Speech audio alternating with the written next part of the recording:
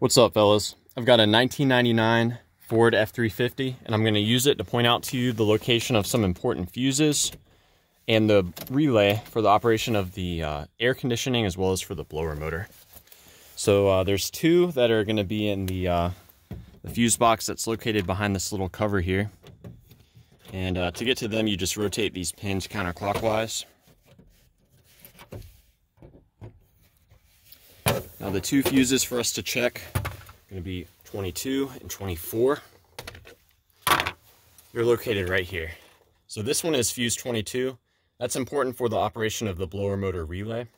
This 10 amp fuse 24, that's going to be vital for the operation, um, actually sending power to this cluster right here, where you actually control the heat and the AC. The blower motor it's going to be down here. So this is your blower motor relay. You can try tapping on it to see if it unsticks. You can swap it with uh, these other relays, although they're vital for the operation of the car. This is the PCM relay. That's the fuel pump relay. So if you swap it with one of those, the truck may not run. But if it doesn't run after you swap it, you know that's the problem. Now, as far as the fuse goes, that 40 amp fuse, that's going to be for the blower motor.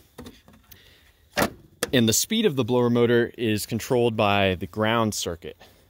Now I'm gonna talk to you about the AC. There is no AC uh, relay.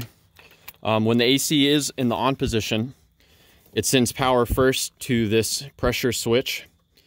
If this detects that the pressure is too low, it will interrupt the circuit.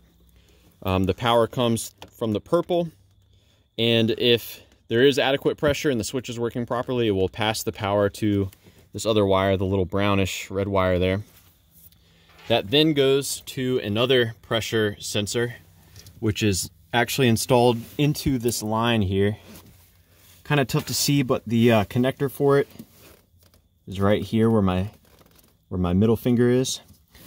That does kind of the opposite of what the other pressure sensor does it detects to see if the pressure is too high. And if the pressure is too high, it will interrupt the power. Uh, if both of the switches are working properly and uh, the pressures are where they should be, the power is then supplied to that connector right there on the compressor itself to lock the clutch.